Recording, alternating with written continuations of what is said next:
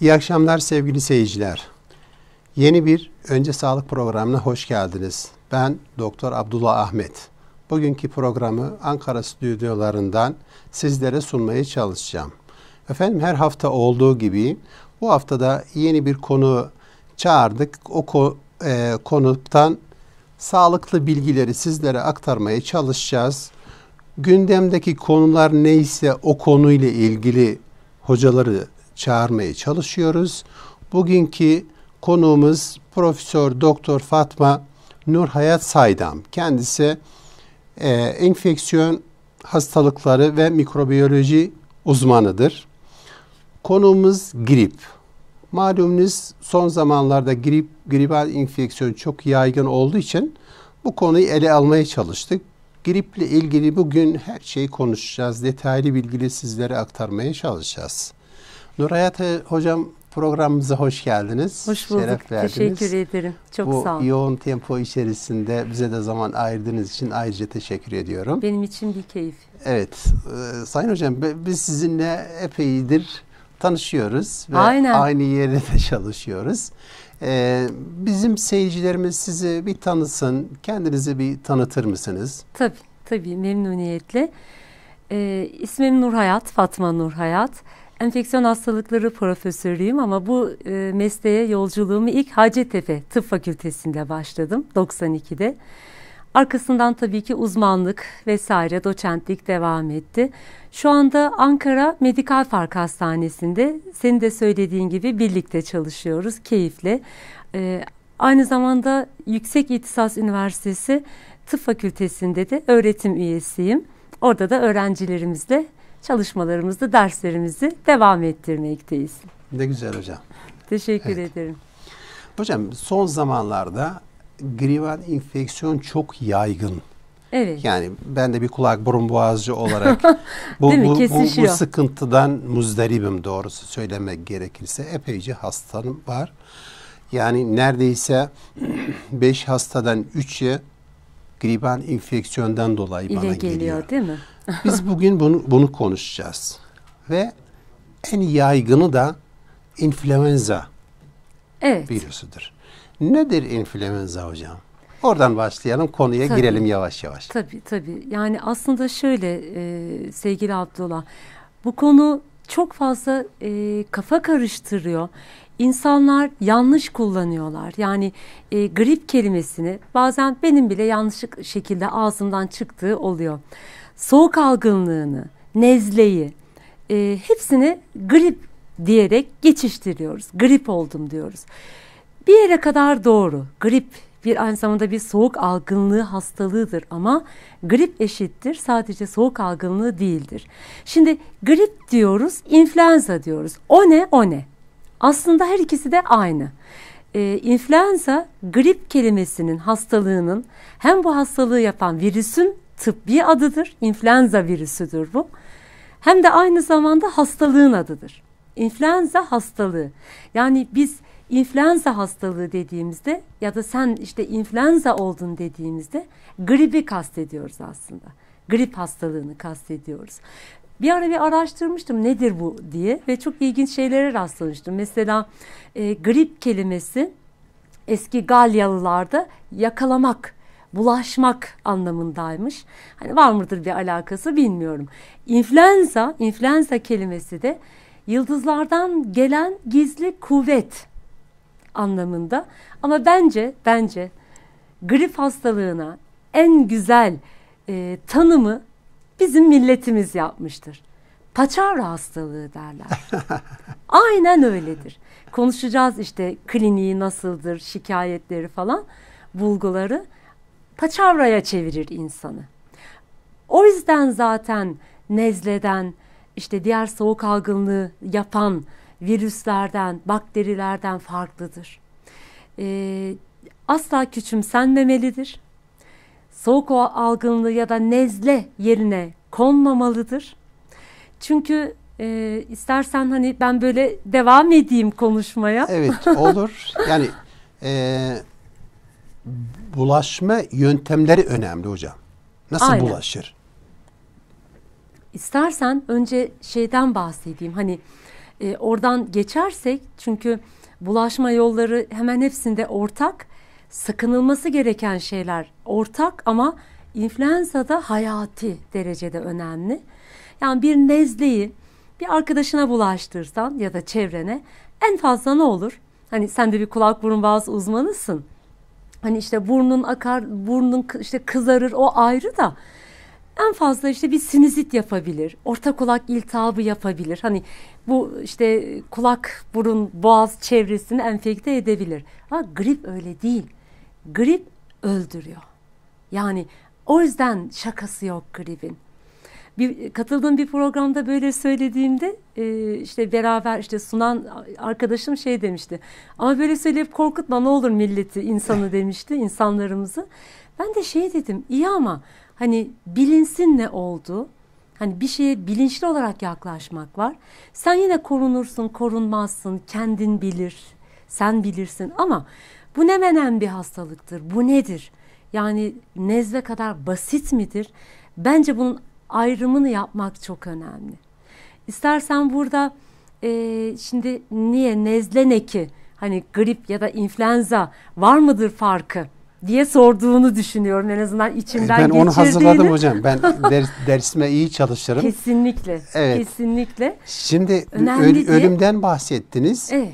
Ee, bunun Bak bir iki rakam vereyim sana rakam, istersen Rakam Abdullah. isteyeceğim. Evet. Bir yani uluslararası Oran evet. nedir? Ölüm Aynen. oranı nedir? Tabii ben hemen bir iki tane rakam vereyim. Hani bu işin niye şakaya gelir yanı olmadığına dair. E, tüm dünyada 100 milyon, bak 100 milyon kişi enfekte oluyor. E, influenza nedeniyle ya da grip nedeniyle. E, 500 bin, 500 bin az bir rakam değil. Tüm dünyada ölümlere sebep oluyor her yıl. Hem de hiç akla gelmeyecek sebeplerden. Onları sana anlatacağım. Hiç akla gelmedik nedenlerden ölüyor insanlar. Ee, şu griple influenza şey e, grip ile tamam, e, soğuk algınlığı arasındaki farktan bir bahsedeyim. Niye nezleden korkmuyoruz? Çünkü nezlede burun akıntısı ön plandadır. Burnun akar, şıp şıp damlar. Gripte olur mu? Olabilir ama çok daha az görülür. Bilirsin tıpta biz şey deriz. Tıpta hastalık yoktur. Hasta vardır. Yani hiçbir zaman iki kere iki dört değildir. Yani kesin böyle net sınırlarla her zaman ayıramazsın. Ama gribi grip yapan çok böyle keskin bir takım bulgular var. Mesela ateş. Nezlede ateşin olmaz ya da diğer soğuk algınlığı. Diğer soğuk algınlığı dediğimde onu da sana söyleyeyim. 200'den fazla virüs var. 200'den fazla soğuk algınlığı dediğimiz böyle işte hafif bir kırgınlık, kırıklık, hani böyle bir halsizlik, belki bir hafif burun akıntısı ile giden hastalık yapan virüs var. Bunlardan bir tanesi influenza. Ama influenza'da 40 derece ateş oluyor ve o ateş günlerce düşmüyor. Ve ne oluyor? Kas eklem ağrısı. Ama nasıl bir ağrı? Yani dayak yemiş gibi. Ben hastalarıma onu soruyorum. Yani benim için böyle çok önemli bir belirteç. Hocam diyorlar mesela geliyor her yerim ağrıyor diyor. Dayak yemiş gibi mi diyorum. Ha hocam nereden anladın diyor. Yani bundan güzel tarif edemezsin diyor. Öyle. Ee, inanır mısın böyle genç 20-30 yaşlarda yani anca işte daha fazla değil böyle normal zamanda belli hani böyle sağlıklı tekerlekli sandalyeyle geliyorlar. Sana da hiç geliyor mu mesela bilmiyorum. Hocam. Çünkü influenza kulak burun boğaza da geliyor. Boğazları ağrıdığı için. Ee, tekerlekli sandalyeyle gelen çok hastam oluyor. Yürüyemiyor. Öyle bir kas eklem ağrısı. Zaten kalkabilen hastaneye geliyor yoksa yatağa düşürüyor. Nezlede ne oluyor peki ya da diğer soğuk algınlığı hastalıklarında? Onda halsizlik olur ama ne olur hafif bir halsizlik kalkarsın sürünerek de olsa işe gelirsin. Bir çay kahve içersin, bir kendine gelirsin, devam edersin. Gripte öyle bir şansın yok zaten. Dayak yemiş gibi bir ağrı ve yatırır seni. Ve nasıl? Korkunç bir baş ağrısı. Hani bunları bilinçli olarak korkunç gibi şeyler kullanıyorum. Çünkü gerçekten çok e, ciddi bir baş ağrısı. Gözlerini hareket ettiremezler. Bilirsin sana da söylüyorlardır hastaların. Gözlerini yani hocam diyor gözüm yuvasından sanki yani böyle hareket ettirdiğimde gözümü yuvasında hissediyorum diyor. öyle bir e, ciddi bir göz ağrısı eşliğinde baş ağrısı. Ee, onun dışında öksürük, kuru bir öksürük ama balgam genellikle görmüyoruz. Nezlede öksürük olur mu? Pek olmaz. Belki hani şu postnazal drenaj dediğimiz geniz akıntısı. Geniz akıntısı olursa gece hani yatarken böyle gıcık tarzında uyutmayan bir öksürüğü nezlede görüyoruz. Sana da hep nezleler geliyordur zaten şimdi tam mevsimi. Ama gripte öyle değil. Gripte e, çok ciddi bir öksürük çünkü niye? Boğazı parçalıyor tabiri caizse. Bütün o boğaz duvarını parçalıyor. O yüzden e, ondan kaynaklanan geçmeyen çok rahatsız eden bir öksürük. E, onun dışında başka baş ağrısı dediğim gibi e, halsizlik olur ama nezlede 3-5 gün halsizlik olur geçer. Gripte haftalarca devam eder. Kişi iyi olur, iyileşir ama halsizliği yani mesela bana öyle çok hastam geliyor sana da söylüyorlardır. Hocam iyileştim ama iyileşmedim diyor. Nasıl yani diyorum. Parmağımı kaldıracak halim yok diyor. Yapar. Yani işte maalesef o yüzden gripten korkuyoruz. Daha komplikasyonlarına gelmedim. Hani bunlar ve ani başlar. Bak o çok ilginçtir. Sana onu anlatayım. Ee, Dilara'yı hatırlarsın belki kızım. Evet. Biz Abdullah'la yıllardan yani yıllar öncesinden tanıştığımız için e, kızım şu sene 2009'da hatırlarsan e, kuş gribi hani çok ciddi bir pandemiydi bütün dünyayı etkiledi çok korktuk biz o zaman ya milyonlarca kişi ölecek diye korktuk e, ondan da bahsedeceğim bu pandemi nedir yani grip böyle bir şey de yapıyor mesela 10-20 yılda bir ya da 30 yılda bir bütün şeklini, şemalini değiştiriyor. Öyle bir virüstür. Ona döneceğim. Önce sana şeyi söyleyeyim.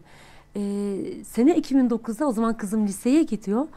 Ee, ani başlar grip. Çok ani başlar. Kişi saati bilir. Lisede, liseye gidiyor. Öğretmenleri aradı. İşte hocam dediler kızınız hasta gelin. Onda şikayetler grip zaten ortalık kırılıyor. Aynen şöyle bir tarifte bulundu. Anne dedi Birinci teneffüste dedi hiçbir şey yok. Hiçbir şikayetim yok.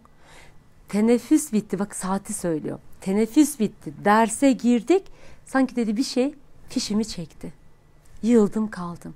Yani ne oldu bir dakika önce hiçbir şey yok. Böyle saati söyler. Diğer nezle, soğuk algınlıklarında böyle bir şey olmaz. Hani günlerce bir kırıklık, kırgınlık hani hissedersin ama hani ne zaman başladı öyle bir saat falan veremezsin. Bunda keskin sınırla ve pilin biter sanki aniden. Öyle bir özelliği var gripin. O yüzden e, nezleden biraz farklı. Evet. Bana geldiklerinde direkt bahsetmiş olduğunuz şeyleri üç soruyla soruyorum. evet cevabı al, alıyor isem ayvah diyorum. Eyvah değil mi? Evet. Ya, ya güzel. Neleri soruyorsun bunları mı? Kas eklem ağrısı. Evet. Ateş. Aniden mi başladı? Ateş mi? Ani evet. değil mi? Bak o şeyden de bahsedeyim. Ee, pandemi dedim. Pandemi nedir? Ee, her yıl salgın yapıyor zaten. Yani ya da nasıl diyeyim sana? Bir ila üç yılda bir salgınlar görürüz. Mesela bu yılda salgın var. Şu anda başladı. Yaklaşık bir aydır grip salgınındayız. Ama bu virüsün özelliği kendini genetik olarak yavaş yavaş değiştirir her şöyle bir 10 yılda bir, 20 yılda bir de öyle bir şekil şemal değiştirir ki genetik yapısını, işte genetik reassortment denen olay, genetiğini tamamen değiştirip bambaşka bir virüs çıkar ortaya. O da grip virüsüdür, o da influenzadır ama genetiği tamamen değişmiştir. Mesela sene 2009'daki artık halkımız da öğrendi, insanlar H1N1. H1N1 en son ne zaman çıkmıştı biliyor musun? 1918'de. 1918'deki de H1N1'di. Ve o zaman kaç kişi öldürdü biliyor musun sevgili Abdullah? O zaman resmi rakamlara giren 30 milyon. 30 milyon kişi tam işte o Birinci Dünya Savaşı sırasında hatta Atatürk de yakalanmıştır. Ama hani neyse ki diyorum ölmemiştir. Çok şükür ki. Ee, resmi rakamlara giren 30 milyon kişi ölmüştür. Ondan bir 20 yıl sonra tekrar İşte mesela e, Birinci Dünya Savaşı sırasındakinin adı İspanyol gribidir. Böyle isimler verilmiştir her birine. E, 20 yıl sonra e, oluşan e, yeni salgında, yeni pandemide 1 milyon kişi öldü. Sene 2009'da olanda biz çok korktuk. Yani gerçekten milyonlarca kişi ölecek diye ödümüz patladı. İşte domuz gribiydi onun da adı biliyorsun. Niye domuz gribi dendi? Çünkü domuz yapı olarak e, adeta bir gen teknesi gibidir. Yani neyi kastediyorum? Kuştan aldı, insandan aldı virüsleri. Kendi içindeki virüs işte yakalandı. Hepsi karıştı. Kendi içinde yepyeni işte bir aşpiren bir virüsü doğdu. Oradan zaten bir insana bulaşmasıyla patlak verdi gitti. Çok şükür binlerce kere şükürler olsun. Ee, çok az kişi öldü. O da tamamen Dünya Sağlık Örgütü'nün başarısıdır biliyor musun? Evet. Virüsü çok hızlı İnsanlar bir şekilde izole etti.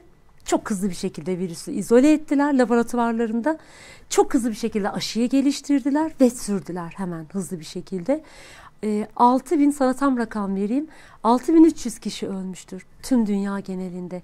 Sene 2009 domuz gribinde. Çok ucuz kurtardık. Gerçekten. Şunu söyleyeyim. Her yıl öldürüyor grip, influenza. Her yıl ölümlere sebep oluyor ama böyle milyonları kırması, binlerce kişiyi öldürmesi işte bu 10-20 yılda bir olan tüm kıtalara yayılan tamamen genetik yapısını değiştirmesiyle oluyor. Evet. Peki e, kuluçkaya gelince hocam e, hastalığın kuluçka dönemi ne kadar sürüyor? E, çok uzun değil Abdullah. Yani bir ila üç gün diyebiliriz. Çok uzun değil ama burada sıkıntı ne biliyor musun? Bu kuluçka dediğimiz işte inkübasyon dönemi bilirsin. Kuluçka dönemi dediğimiz dönem virüs insan vücuduna girdi. Sen kaptın birisinden aldın. Henüz daha vücudunda hastalık belirtileri başlamadı. Bu virüs içten içe yayılıyor. Bu her hastalık için, her enfeksiyon hastalığı için böyledir. Bilirsin. Yani bir kuluçka süresi vardır. Kiminin 5 gündür, kiminin 10 gündür. O bizim influenza virüsümüz için de 1 ila 3 gündür. Ama sıkıntı şu. Henüz daha hiçbir hastalık belirtisi yokken e, bu virüsü sen saçıyorsun etrafa. Eyvah. İşin sıkıntısı burada. Çünkü o sırada sen kendin de hasta olduğunu bilmediğin için Ha işte orada ne işin içine giriyor? Yani korunmak imkansız. Şimdi ben bilmiyorum ki sende var mı yok mu virüs. Korunma konusunu konuşacağız zaten. İşte o yüzden korunma önlemleri, öksürme adabı, hapşırma adabı. Çünkü niye? Kim sağlıklı, kim hasta? Hasta olan kendini bilir zaten. Hasta olan zaten ayağa kalkacak hali yok. Zaten evde yatıyor. Ya da hastanede işte Allah korusun. Çünkü yoğun bakımlarda ölüyor bu insanlar. Konuşacağız. O yüzden ee, yani bu öksürme, hapşırma, elini yıkama, çünkü nasıl bulaştığını sana anlatacağım. İnsanlar sadece öksürme, hapşırmayla zanneder. Hiç de öyle değil. Birçok yolla bulaştığı için işte bu dönemde çok ciddi bulaşma oluyor. Peki hocam influenza ciddi komplikasyonlar açısından kimler risk altında? Onlardan bahsedelim. Ee, bu çok önemli bu söylediğin. Çünkü hani e, öldürüyor dedim. E, herkesi mi öldürür? Değil.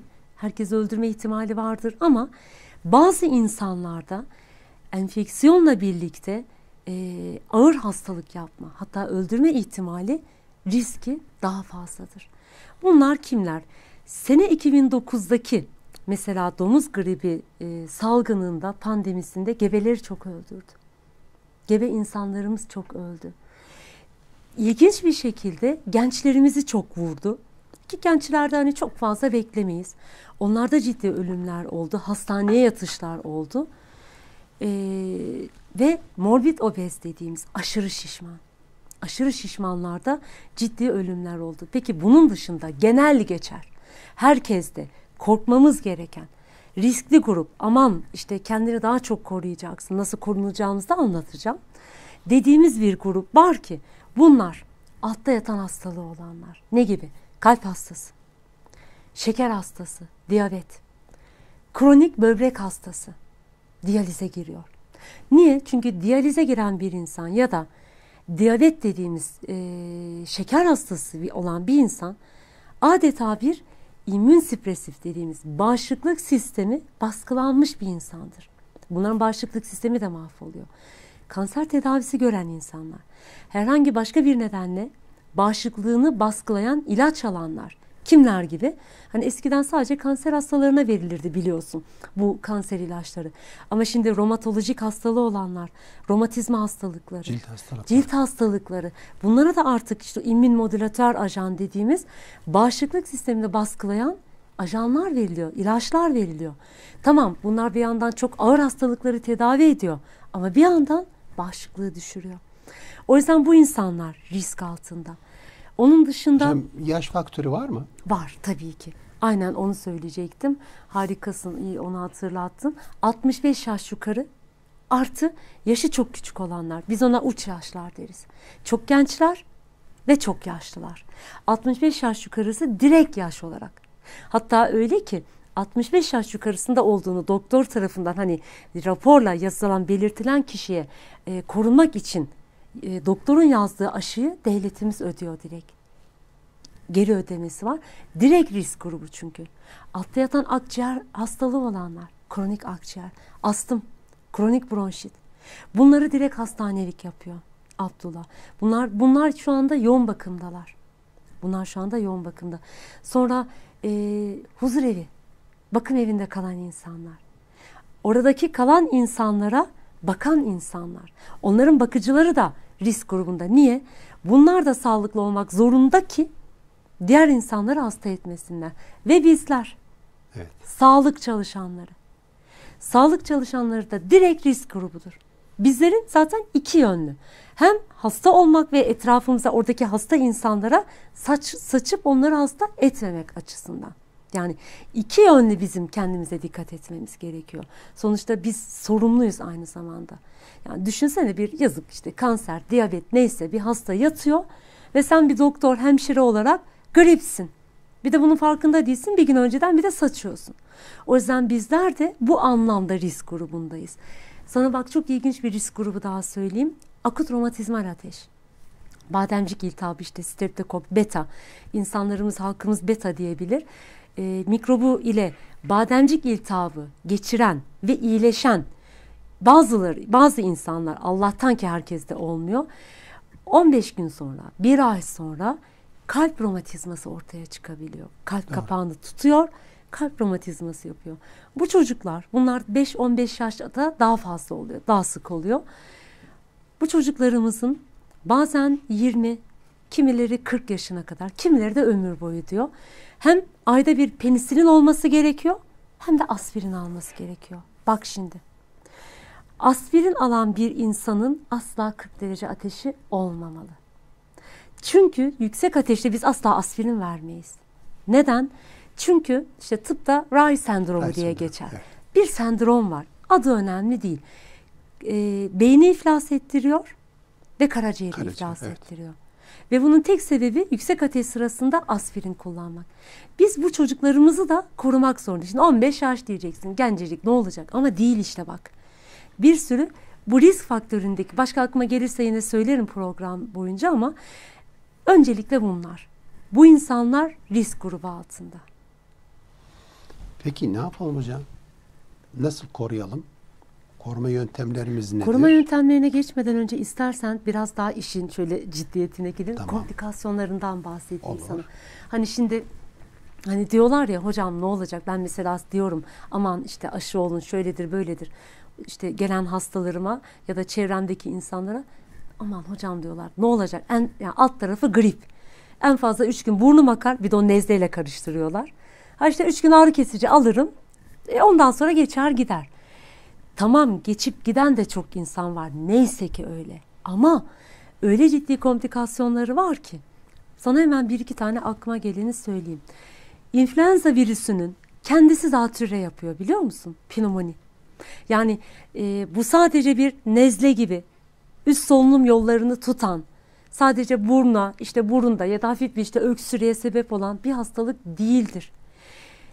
Ee, az önce söylemiştim. Bütün boğaz yollarını paramparça eder, aşağılara inmeyi sever, zatürre yapar, pnömoni yapar. Onun dışında geçtik diyelim ki yapmadı kendi. Sekonder enfeksiyon deriz biz. Seko, yani üzerine başka bir bakteri gelir. Sen tam böyle iyileştin zannedersin. iki gün iyi hissedersin. Ondan korkarız çünkü böyle kendini iyi hisseder gibi olup tekrar başa dönen. Eyvah deriz. Komplikasyon gelişti. Başka bakterileri adeta davetiye çıkararak başta da stafilokok, staph aureus berbat bir bakteridir. Ee, sekonder zor.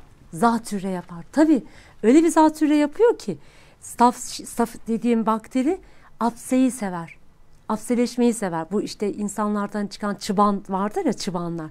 Böyle apseli. İşte onların etkeni bu staph dediğim, stafilokok dediğim bakteridir. Tam ismini söyleyeyim. Akciğerde de apseyle giden zatürre yapar. Ve en tipik de influenza, grip sonrası yapar. Bunun dışında e, astım ataklarını arttırıyor. Yani sen de eğer astım hastasıysan, sende astım varsa bir kere geçireceksen beş kere geçiriyorsun astım atağını. Zaten yoğun bakımda en çok yatan, en korktuğumuz e, hasta gruplarından bir, bir, yani bir tanesi de astımlı olup üzerine influenza olandır. Bak onun dışında hiç aklına gelmez miyokardit. Miyokarditin ne olduğunu söyleyeyim. Kalp kası iltihabı. Kalp kası iltihabı yapıyor. Miyokardit yüzünden ölen çok çocuk var biliyor musun? Bunların hiçbirisi basına yansımıyor. Ee, Guillain-Barré sendromu dediğimiz aşağıdan ayaklardan başlayıp yukarı felç. doğru yavaş yavaş çıkan bir felç çeşidi vardır. Ta gelir solunum kaslarını tutar. Solunum kaslarında solunumu durdurur. O sırada makineye bağlamak zorundasındır. Mekanik ventilatöre, solunum cihazına. Sonra tekrar ayaklardan yukarı doğru yavaş yavaş eğer ölmezse iyileşir. Guillain-Barré sendromu buna sebep oluyor. Buna sebep oluyor. Miyozit korkunç yani miyozit dediğimde zaten kas eklem ağrısı yapıyor. Kaslarda iltihaplanma yapıyor. Ayağa kalkamazsın. Şuradan şuraya yürüyemezsin. Ben daha önce başka bir hastalık geçirdiğim hastalık yüzünden steroid kullanmak zorunda kalmıştım. Ondan dolayı bir miyozit atağı geçirmiştim. Hani hekimden sorma, çekenden sor demişler. Evet. Şu an bir çeken olarak söylüyorum. hem hekim hem hekim çeken. olarak aynen öyle. Berbat bir şeydir. Yani iki adım atamadığımı ve yani koltuk değneği kullandığımı bilirim. O yüzden miyozit yapıyor işte bu söylediğimi yapıyor. Onun dışında artık yani orta kulak iltihabı, e, işte sinüzit onları geçtim. Hani bunlara rahmet okutuyor resmen. Hani artık onlar olsa keşke diyorsun. Bu tarz çok ciddi yan etkileri, kom, yan etki demeyeyim de komplikasyonları olan bir hastalık. Şeker hastaları alt üst ediyor. Yani kan şekerini düzene koyamıyorsun. O ateş, o e, ağır dönem geçene kadar o 3-5 gün boyunca kan şekerini asla regüle edemiyorsun. Bu korkunç bir durum. Bak sana bir şey daha söyleyeyim. Felçlere sebep oluyor. Ne alaka diyeceksin? Ne felci? Yani influenzadan konuşuyoruz. Felç, felce sebep oluyor. Şimdi düşün ki 40 derece ateşin var. Zaten ateş demek vücutta ciddi bir sıvı kaybı demektir. E, boğazlar paramparça. Hastaneye de gelmedi diyelim ki çünkü biz hastaneye geldiğinde bu insanlara hemen ciddi bir serum takviyesinde bulunuyoruz. Oradaki sebep, sebep de o su kaybını karşılamak. Şimdi 40 derece ateşin var. Su da içmedin. Evde influenza yatıyorsun. Ee, kanın bir akışkanlığı vardır. Hani suyun bir akışkanlığı var. Ee, buharlaştığı zaman kandaki su yapış daha yapışkan, daha zor akan bir kan haline geliyor. Bu kanı pompalamak kalbe ayrı bir sıkıntı. Kalp krizi geçiriyor insanlar. Bak şimdi. Hani influenza derken iş nereye geldi? Kalp krizi geçiyor. Bu yüzden ölenler var ama. Yani bunları gerçekten anlatmak gerek. Ben bunun bir vebal olduğunu düşünüyorum. Kanın akışkanlığının bozulması yüzünden felç inmelere sebep oluyor. Serebrovasküler olay dediğimiz bilirsin. Beyin kanamaları. Beyin inme, tıkanıyor, şey yapıyor, e, pıhtı atıyor. Yani kanın hareket etmemesi yüzünden. Onun dışında e, yine çok ciddi bir şekilde e, işte şeker şeyinden dolayı şekerin bozulmasından, kan şekerinin bir türlü düzene girmemesinden kaynaklanan şeker hastalığına bağlı komplikasyonlar oluşuyor. Ve bunların hepsi yani bizim o basit aman griptir 3-5 gün ne olacak dediğimiz hastalıktan kaynaklanıyor. Hatta ben gerçekten grip yüzünden ölen kişilerin e, yani keşke hiç ölüm olmasa. Çünkü ben aşıyla önlenebilen bir hastalıktan dolayı ölümleri kabul edemiyorum. Keşke bu insanların hani e, rakam olarak söylense ve durumun hani vehameti ortaya çıksa diye düşünüyorum. Çünkü oradan korunmaya geçeceğiz. Evet. Hocam zaten bizim pro, programımızın amacı da bu. Hastaları bilinçlendirmek bi, insanları yani değil mi? Bilir kişinin ağzından birebir o hani kaşıkla bilgi verme e, yöntemiyle e, insanlar bilinçlendirmektir. Bu Güzel. programı o yüzden yapıyoruz. E, ve gündemdeki konuları toplumda en fazla yaygın olan hastalıkları e, seyircilerimize sunmaya çalışıyoruz. E, evet, benim son zamanlarda e, fark ettiğim bir şey var hocam. Sizin bahsetmiş olduğunuz ölümcülükler e, çok tehlikeli. Ancak o onlar kadar önemli olmayan ama o kadar da e, mide bulandıran bir konu var. Nedir? Mikrosilyar aktivite. Evet. Solunum yolundaki bu aktiviteyi bozuyor bu, bu mikrop. Dolayısıyla sürekli bir akıntı ve öksürük günlerce devam eden bazen de Geçmiyor. birkaç ay devam ediyor. Çok haklısın. Geçmiyor. Evet. Aynen öyle. Hele sigara içiyorsa işte hani astım gibi zaten ya da alerji gibi zaten senin de konundur direkt alerji. Zaten o siliyar aktivitenin böyle bir alt üst olduğu hastalık varsa eyvah eyvah. Aynen dediğin gibi aylarca geçmiyor öksürük. Çok ilginç. Evet. Hocam nasıl koruyacağız peki? Ne yapalım? Şimdi korunma çok önemli. Gerçekten çok önemli. Yani ben bu konuda çok önemli mesajlar vermek istiyorum ve bunun bizim boynumuzun borcu olduğunu düşünüyorum. Çünkü e, bunun karşıtı olan insanlar ki bence yatacak yerleri yok. Ben öyle söylüyorum. E, bu konuda gerçekten e, ağzı olan konuşuyor. Bence öyle olmaması gerekiyor. Lafı nereye getireceğim? Aşıya. Sevgili Abdullah. E, korunmanın, şimdi bu bir virüs. Evet. Bundan korunmanın şey olarak bir yolu yok. Onu sana bir kere baştan söyleyeyim. En önemli yolu aşı. Eğer ki şu az önce saydığımız risk grupları bu gruplar içindeyseniz mutlaka mutlaka aşı olmak zorundasınız. Aşı yüzde yüz koruyor mu? Hayır. Aşı yüzde yetmiş seksen koruyor. Ama böyle bir öldüren bir hastalığı, öldürme riski olan bir hastalığa karşı başka elinizde hiçbir silah yokken sizin kendinizi ne yani siz kendinizi ne kadar korursanız o kadar iyidir. Çünkü bir daha söylüyorum. Başka yolu yok. C vitamini, portakal mandalina yani yapılan son çalışmalar bunların soğuk algınlığında direkt olarak hiçbir etkisinin olmadığı göstermiş. Açık ve net söylüyorum. Aşı çok önemli korunmak açısından. Kimleri aşılayacağız? Başta bu saydıklarım 65 yaş yukarısı, altta yatan hastalığı olanlar, bağışıklık sistemi baskılananlar, sağlık çalışanları, e, hatta hatta bak sana şunu da söyleyeyim. E ben gencim, güzelim, aktif, dinamik, heyecanlıyım. Ne gerek var grip aşısına? Eğer ki evinde şu saydığım risk grubundan olan yaşlı, işte Allah korusun işte kanser hastası, hepsine şifa diliyorum. E, altta yatan işte diyabet vesaire hastalığı olan bir yakınınız ile beraber kalıyorsanız ya da bir ev arkadaşınız varsa o zaman yine bu bir e, vebaldir. Aşı olmanız lazım. Yani sadece şey değil.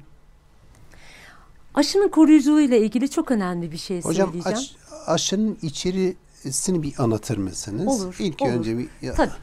Sana istersen önce şeyi anlatayım. Bu aşı nasıl oluşturuluyor? Evet. Dünya Sağlık Örgütü her yıl e, tüm dünyadan dünyanın tüm ülkelerinden e, belli sayıda şey ister. Grip virüsü ister. Yani nasıl söylüyorum? Ne, ne demek istiyorum? Geldi, sende işte hastalık çıktı. Belli hastaneler görevli, görevlendirilmiştir. Belli laboratuvarlar. Hem Türkiye'de hem tüm dünyada.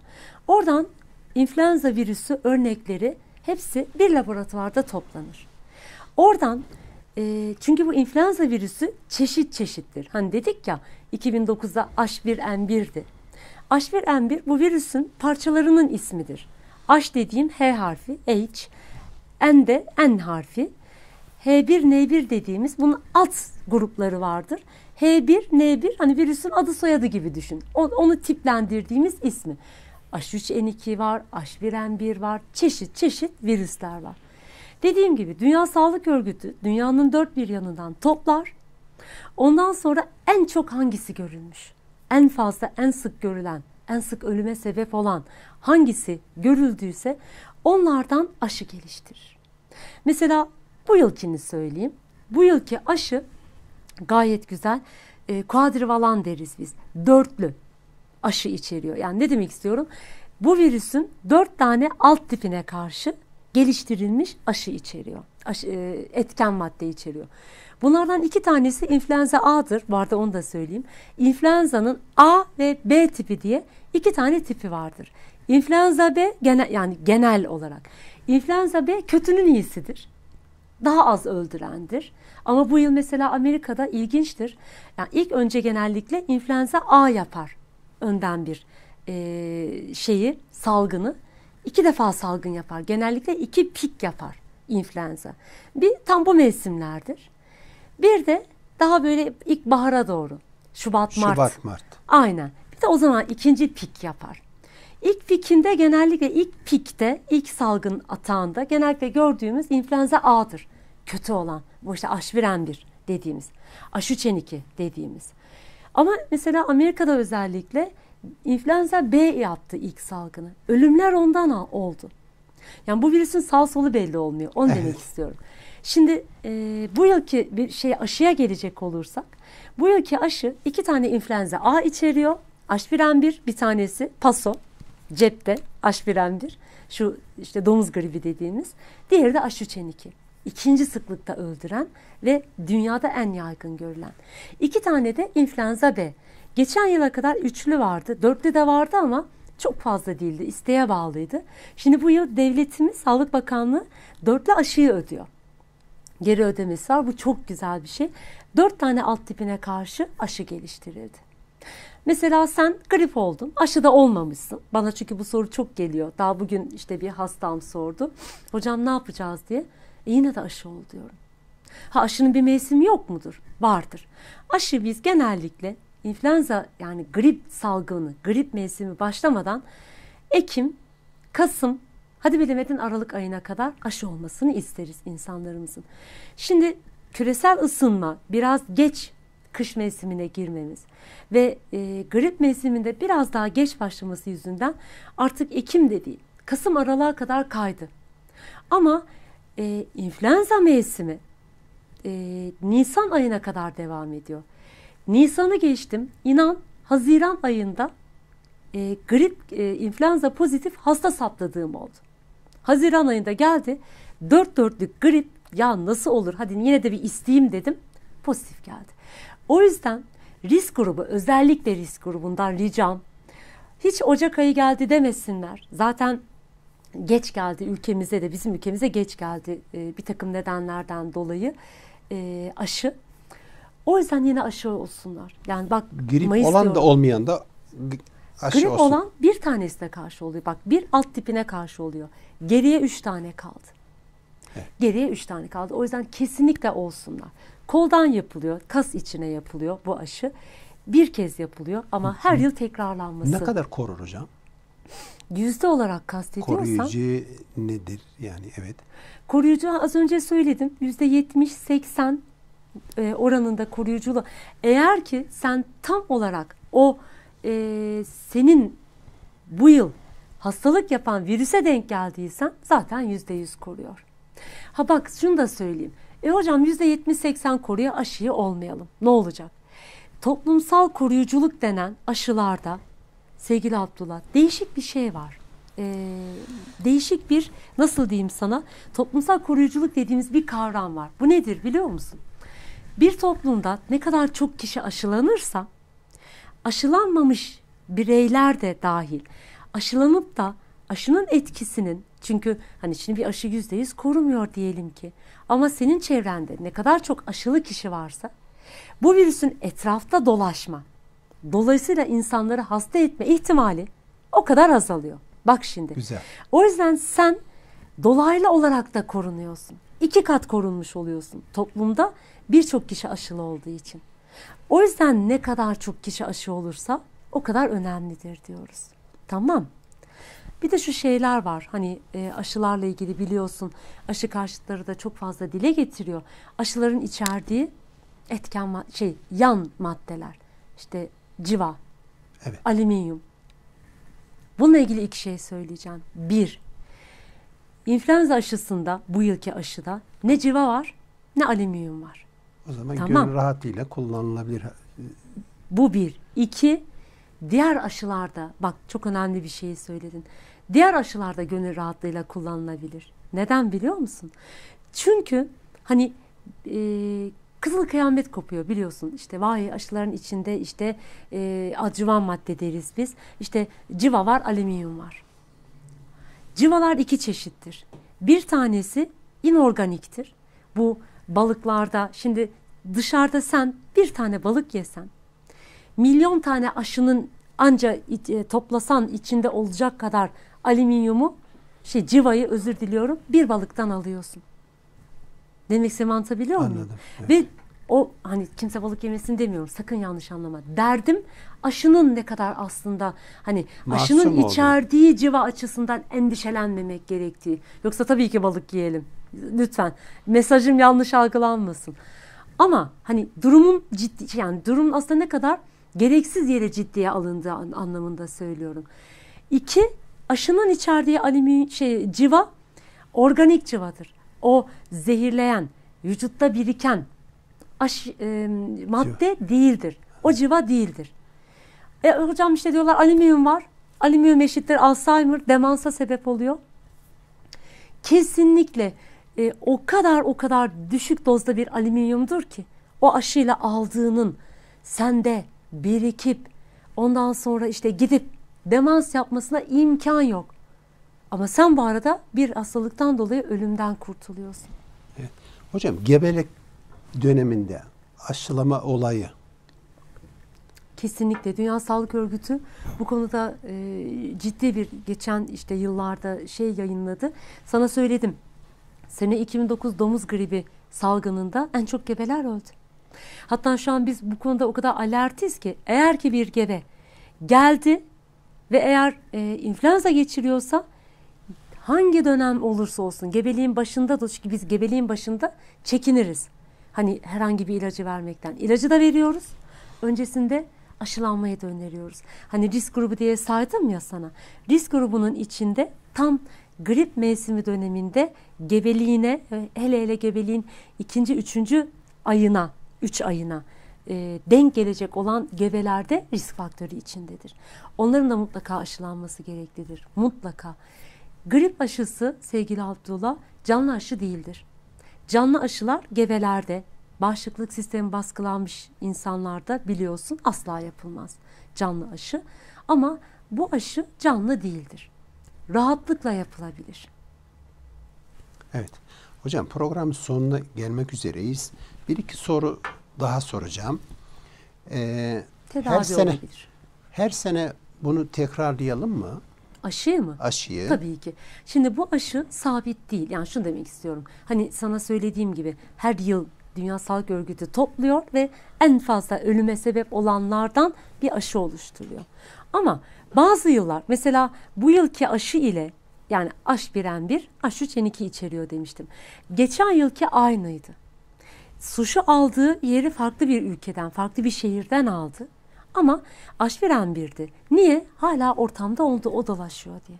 Hala ortalıkta dolaşan o diye. E bir de zaten %70-80 koruyor dedim. Artı bu tüm hayat boyunca kalıcı bağışıklık oluşturmaz. Bak Abdullah bazı aşılar vardır. Olursun ömür boyu bağışıksındır. Mesela hepatit B. Başka zaman diğer aşıları da konuşuruz. Kısmet olursa. Hepatit B aşısı öyledir. Olursun seni ömür boyu korur. Ama influenza aşısı öyle değil. Hani diğerine asla mesela geliyor soruyorlar hocam işte hepatit B aşısı olalım mı? Olma diyorum. Hani olmuş ve koruyor. Ama bu öyle değil. E bir de öldürüyor. Yani bir sürü riski var. Kesinlikle şey yapmak lazım. Eğer şey, e, vaktimiz az kaldıysa istersen korunmadan da bahsedebiliriz. Hocam birkaç dakikayla e, programı bitirmek zorundayız. Tamamdır. Evet. Korunma şöyle. Nasıl korunacağız? Nasıl yayıldığını bilirsek nasıl korunacağımızı biliriz hani ona göre. Bir damlacık yoluyla bulaşır. İki yolla bulaşır bu virüs. Damlacık dediğim ağızdan saçılan tükürük yoluyla ya da işte hapşırdın öksürdün. Ee, bir, bir buçuk metre kadar uzağa gider ve çöker. O yüzden öksürürken, hapşırırken mutlaka ya bir mendil, mendil bulamadıysan hemen böyle hani el, eğer elini kolay yıkayabileceğin bir mesafedeysen eline öksür hapşır. Tamam. Ama o eller mutlaka hemen yıkanacak. Ya da elinde bir mendil mi vardı? O mendil hemen çöpe atılacak, eller yıkanacak. Niye? Çünkü ikinci bulaş yolu da temastır. Virüsün diyelim ki çıktı ağzımızdan şuralara geldi. Saatlerce yaşar. Ölmez. O yüzden dokunduğun yerde eğer sen o elini dokunduktan sonra ağzına, burnuna, çünkü buralardan bulaşır ve gözüne. Bak göz bilinmez. Konjonktivada çok iyi bir bulaş yoludur. O kirli ellerle gözünü kaşıdığında da yine bulaştırırsın. Tamam. O yüzden ne yapacağız? Sokaktasın, dışarıdasın, öksüreceksin ya da hapşıracaksın. Mendil bulamadın, elini yıkayacak yerde değilsin. Pratik şöyle hemen hızlıca Olmaz. kolun iç kısmına. Hani niye? Etrafa bulaşmaz. Bir de şu tara dış taraf olmadığı için hani sonuçta sana çarpan olur, bir yerlere de değersin, dokunursun. Hemen şöyle hızlıca bir yerde seminer veriyordum. İşte sordum. Ee, bir hanımlar lokaliydi. Sizce dedim hani ne yapabiliriz? O anda öksürüp hapşıracaksın. Bir hanım dedi ki şöyle genişçe geniş yakalı bir şey giymişti. E, kazak giymişti. Hocam dedi şöyle dedi kazağı kaldırırım içine hemen öksürü veririm. Düşündüm o da mantıklı. mantıklı evet. Yani akıl akıldan üstündür. Hani o anda etrafa saçmamak lazım. Çünkü bu yollarla bulaşıyor. Ve hemen çok kısaca bir e, şeyi de söyleyeyim bir iki cümleyle. Grip oldunuz diyelim ki. Aşı olmadınız.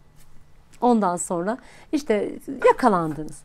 Lütfen rica ediyorum bu e, grip olan, gribe yakalanan insanlar, insanlarımız, halkımız dışarı çıkmasın. Evde otursun, evde kalsın, dinlensin. Bol bol en su. En az bol bol su içsin. Bakın susuzluğun zaten 40 derece ateş nelere yol açtığını söyledim. Su içmek çok önemli. İçemiyorsa bir sağlık kuruluşuna başvursun. Yatsın yatmasın önemli değil serum alsın. Yani biraz o kan sulansın. Ve onun haricinde evde pencereler havalandırılsın sık sık. Evlerinden evlerinde de bir odadan çıkmasınlar. Ben evdeyim her yere dolaşırım yapmasınlar. Evlerine misafir kabul etmesinler. Hele hele gebeyse, küçük çocuksa, işte o saydığım risk grubundaki kişilerse gelmesin. Birkaç gün ziyareti kısıtlasınlar. Dengeli beslensinler. Ne yedikleri önemli değil. Taze o mevsimin meyvesi, sebzesi. Önemli olan o. Vitamin alabilirler mi? Alabilirler. Katkısı olabilir mi? Soru işareti.